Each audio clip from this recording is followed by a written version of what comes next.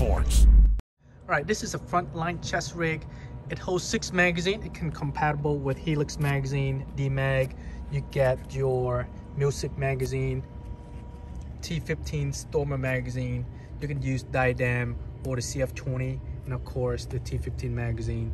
Pretty much any magazine you have is compatible. The mag pouch is integrated into the chest rig. If you have MOLLE pouch, you can actually attach on top of it as well in front of this magazine uh, adjustable so you depends on kind of body size you have you can adjust it to be longer uh, on the back right here there's a strap and then you can adjust in and out based on your body torso really nice for the hot days and you want to run with minimal gear.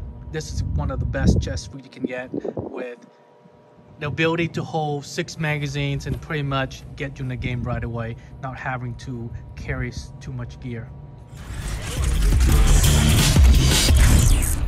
Modern combat sports.